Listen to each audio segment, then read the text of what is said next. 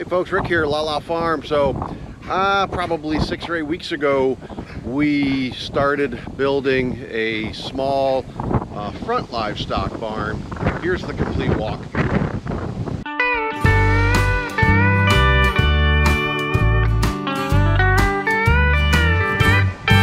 Hey, welcome back. So today we're going to do a complete walkthrough on this livestock barn, the small livestock barn that we built up front. Um, to house the uh, pigs, cows, and uh, ultimately our Nigerian uh, dwarf bucks. We did, I think this will be the fourth or fifth video in that series, fourth I think. Um, a little windy today, hopefully uh, that doesn't impact the audio on this, but uh, this is, it is really windy we started this probably at this point it's been eight weeks or so ago uh, and work has been absolutely nuts. So we have not been able to kind of do this complete video. My goal was to get the electric in get all the plumbing in. Still have not gotten to that. Um, hopefully within the next few weeks I'll be able to get that done as well. Then it will truly be complete. But for the purposes of this video I'm defining completeness by I got all of the walls in the roof on all of the stalls set up um, all of the um, uh, all of the panels 4x4 panels are in um, and the gates are installed. So we can technically put the livestock in here. In fact the pigs have been here for about two three weeks they've been uh, in this barn. Um, so let's do a walk around. So this is entering the front area. So you'll notice this is right off of our front chicken coop. This is where our meat birds are primarily the Versailles there's big Rodney welcoming us to his territory followed by a few of his ladies.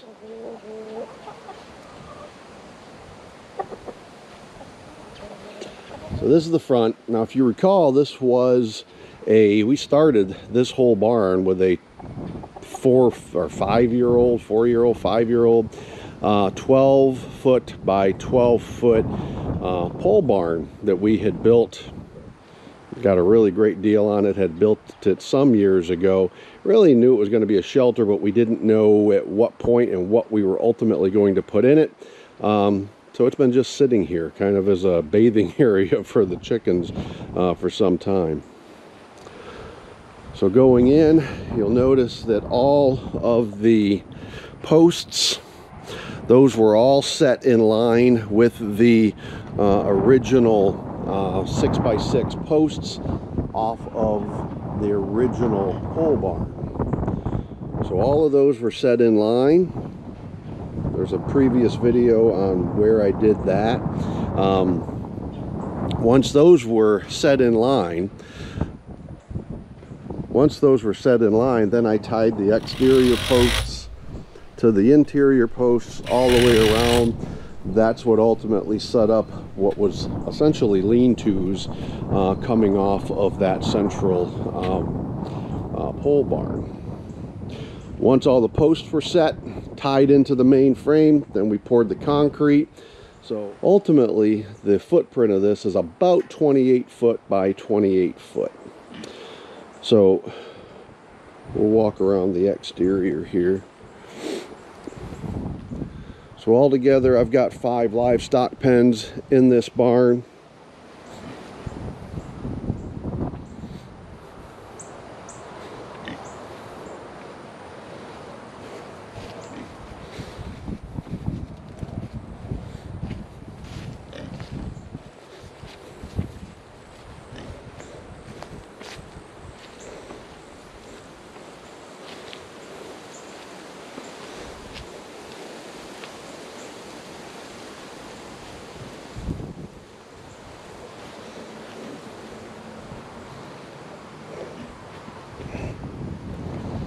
Main entrance is right here. What we've done here is just put some carabiners on a chain, no fancy locks.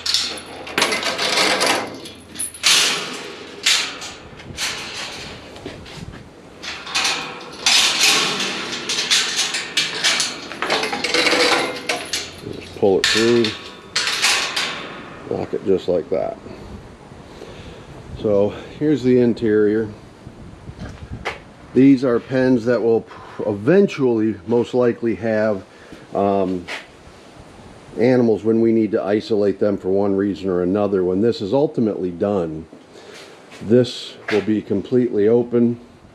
The hogs we will probably continue to keep um, contained. But this will be the entrance. All of these fold fully close like that. So when this is completely done, which will be sometime in the spring, this will be the entry into the barn from the pasture.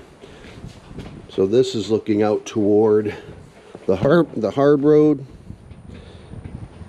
This will be one large pasture going down this fence all the way to the four rail fence out on the hard road and then it will follow the driveway and come around the camper and then cut over somewhere right around here large enough so that we can get the mower in and out of here without any problem. Um, but this will be this is a really mature um, Bahia grass uh, field right here um, planted it about five years ago and we've just been mowing it. Um, about every other week uh, which is unfortunate because that's just a gigantic waste of, of resources in terms of, of uh, grass that we could be feeding to the livestock. But we've never had this fenced in to be able to put anything up here to feed on it. So that's what uh, this pasture will be. So ultimately we'll have two cows, two pigs, and our Nigerian dwarf bucks, which right now there's three of them. So the livestock will come into the barn be at this gateway. In the middle right here will be a round bale during the off season when the grass is not growing. If we want to confine them, then we can confine them to any one of these side stalls. Now these are nothing more than six by six posts for support. The six by six posts are then tied together with two by six by 8s, 10s, and 12s uh, for horizontal support for the rails on the outside. And then everything is tied together, uh, the rails, then with uh, 4x4 sheep and goat panels uh, that are stapled into the 2x4s, or the 2x6s, I should say. Um, everything is uh, tied in uh, structurally uh, with uh, metal ties in addition to regular screws into the beams.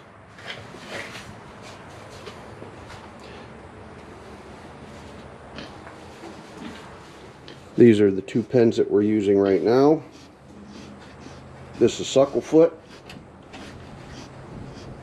These are the waters that we're using right now. Hopefully within the next couple of weeks we'll have water in here uh, and we'll be able to use the automatic water. One of the design pieces that uh, we put into this is that when we need to clean this out, we basically made the uh, railings on the side um, large enough to where all we have to do is push the shavings uh, or the bedding out underneath that rail and then we can scoop it up from the outside. Um, this makes it a lot easier, have not having to bring a wheelbarrow in here. It's easier to scoop it from the outside than it is in here. Um, this here is another one of the pens. This is the biggest of the five pens. Still got my tools in here from where I'm working. And over here is pork chop. Pork chop is the one from a few weeks ago. You saw the short where he was dancing uh, over the water bucket. What's doing pork chop?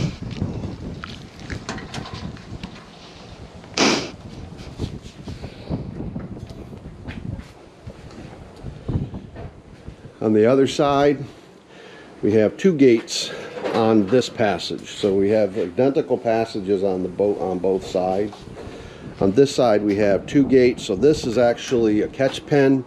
so that when we bring new animals in, we can load them off the trailer or take them off the trailer and put them into this area. Therefore, if we need to do any kind of um, any kind of inspection, you know, we can get in there with uh, with some um, push panels to kind of trap them against the sidewall. So we'll be able to take some push panels in this catch pen, push them up against the side walls, do any um, kind of visual inspection we need to, or whatever we need to do. Uh, if it's give them some vaccinations up here, we can do that. Um, whatever we need to do. These gates fold in flush here.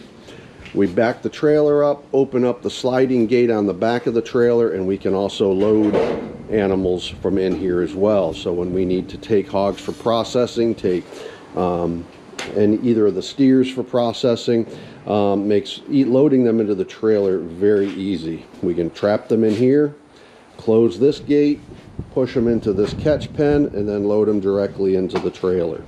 Um, if we have animals that need to be in isolation, we bring new animals home, for example, from a sale, unload them, bring them in, and put them into either one of the isolation pens. You'll notice that they're separate. They're not abutting either of the other pens or any of the other three pens. So these two, this one and this one, are both isolation pens. This area out here is where Lala keeps the feed. Um, also, uh, Boone and Betsy also get fed out here. Um, so uh, this is kind of like just a general storage area for feed, uh, tools, equipment that need to be out here.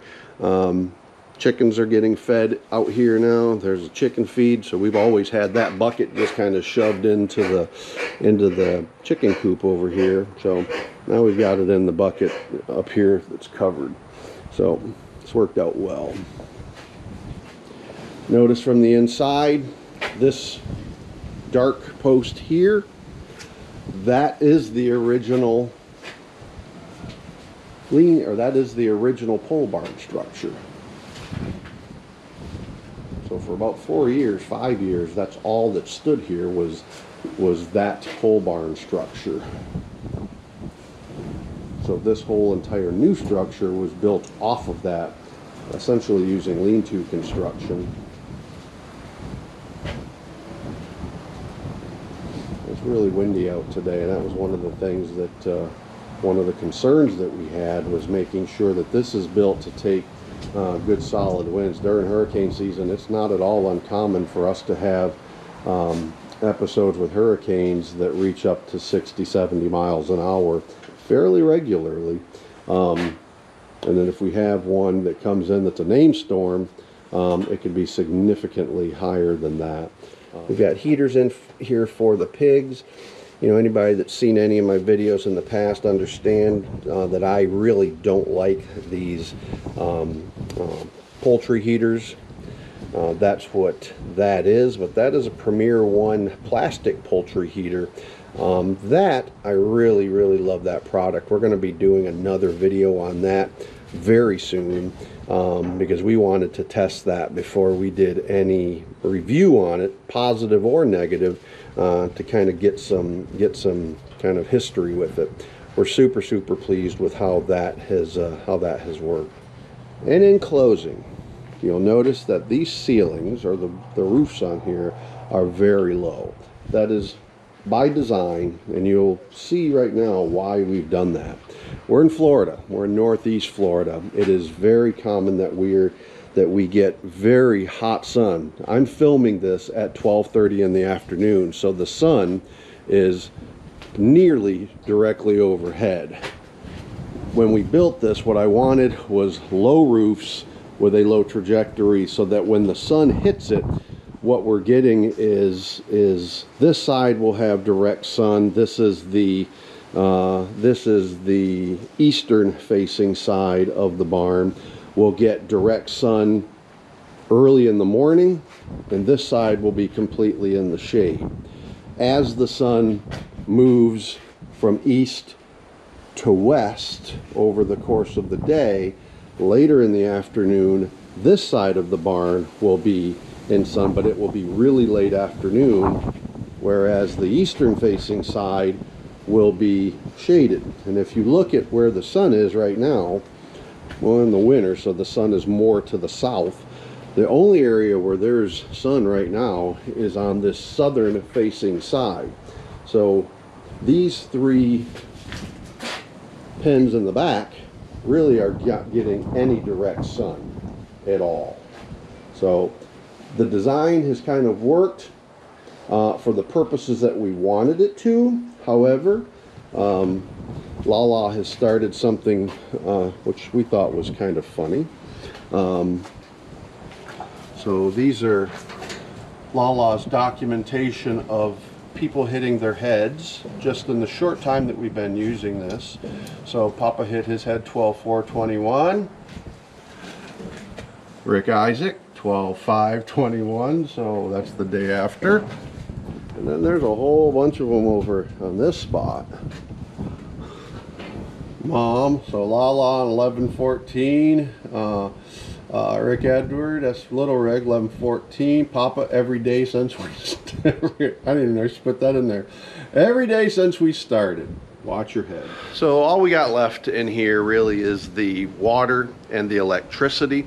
Um, the water's here. I ran a water line from that building right there, which was built as a dog kennel, and it's going to be our bottle baby goat nursery. Uh, future video on that coming. So we still use it from time to time as a dog kennel, but not as much as as we used to. We used to have them in there all the time, uh, but that's going to be basically reserved just for our bottle babies now, um, so that we don't have to go all the way out to the barn. So here's the big girls. They're getting ready to pop literally any day now. There. This is where the uh, water will come in. It'll be one inch pipe that will go throughout this. Um, all three of the ones in the back will have um, hog uh, waterers on it. Um, they look like that. That's the nipple. And then I'm not sure somehow it'll probably be interchangeable. We may use the same um, stainless steel um, waterers up here that we've got out in the back barn. We've done videos on that in the past. Uh, we may end up putting both a hog nipple as well as the stainless steel waters up here. Not really sure yet. Um, somehow we may make them, try to see if I can figure out a way to make them more interchangeable. Uh, the electric, I'm still going to have to go rent a trencher for just a few hours. When we built the house, we had a 220 and a 50 amp service also run out to this building. So that comes into this panel here.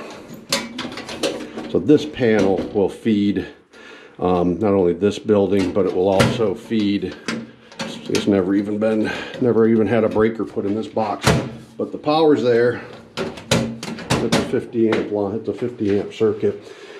This will be the this will be the bottle baby nursery in here.